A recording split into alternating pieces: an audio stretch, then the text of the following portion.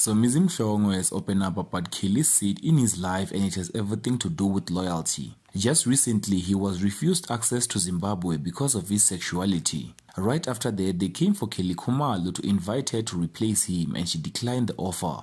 Hi T Squad and welcome to the Tea World. Here's what Somizi had to say. Dedication post. Hi Shem, when I'm loyal, I know how sensitive you are when it comes to loyalty, and you have proven so many times what the word means. Me and you have been there for each other in situations the world don't know about. Recently, you have been tested not once but twice, and still you rose from the occasion. And this time, even if you took the offer, I wasn't gonna be offended, but still you didn't. Being replaced by you would be an honor to me and would show that I need big shoes to replace me. But you didn't because your loyalty would not allow you. Kelly Khumalo vuma. I love you and I hope you will never ever doubt that I'd also do the same for you, he said. Kelly also refused the offer to replace Somizi on Idols SA, all because loyalty and I think everyone else deserves a Kelly in their lives too. And that's it for now, T-Squad. Do leave your comments down below and I love you.